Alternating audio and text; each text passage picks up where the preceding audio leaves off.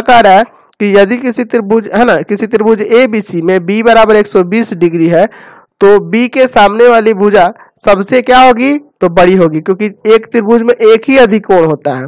ठीक है? तो जब एक ही अधिकोण होगा किसी त्रिभुज में, जैसे मान लीजिए यह है ठीक है? तो इस त्रिभुज में ए बी सी दिए और यहाँ पे बी का रहा है बीस डिग्री है। तो यह जब एक अधिकोण होगा तो उसके सामने वाली भुजा बड़ी हो जाएगी। तो यहाँ से आपको ये क्लियर हो गया।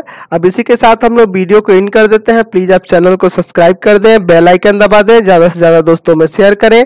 कॉमेंट बॉक्स में लिखे कि हमारे वीडियोज़ आपको कैसे लगता है और इससे रिलेटेड आपको लिंक की ज़रूरत हो तो हमारे WhatsApp number seven three zero one double seven double eight double nine पे व्हाट्सअप करके अदर चैप्टर्स के अदर सब्जेक्ट के आप लिंक को प्राप्त कर सकते हैं क्या किसी अदर क्लास के भी लिंक को प्राप्त कर सकते हैं। Thanks for watching the video